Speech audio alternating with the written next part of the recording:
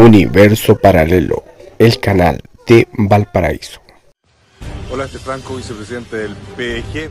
Ayer salió reelecto el presidente Trump en Estados Unidos. ¿Qué significa eso?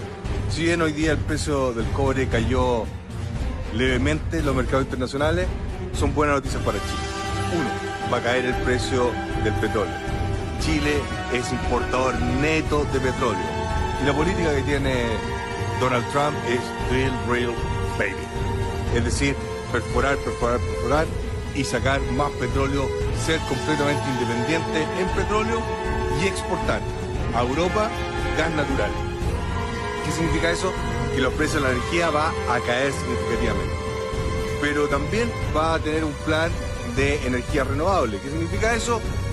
Cobre, materia prima y muchas plantas que están operando en otras partes, como México, van a volver a Estados Unidos, por lo tanto significa mayor necesidad de materia prima y también de capital humano dispuesto a trabajar, ingenieros y técnicos, ¿ok?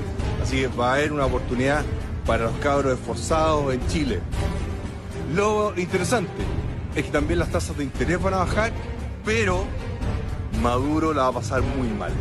Va a ser una deportación obligatoria y por lo tanto, nosotros estamos en el gobierno, vamos a poder colgarnos para poder deportar a miles de venezolanos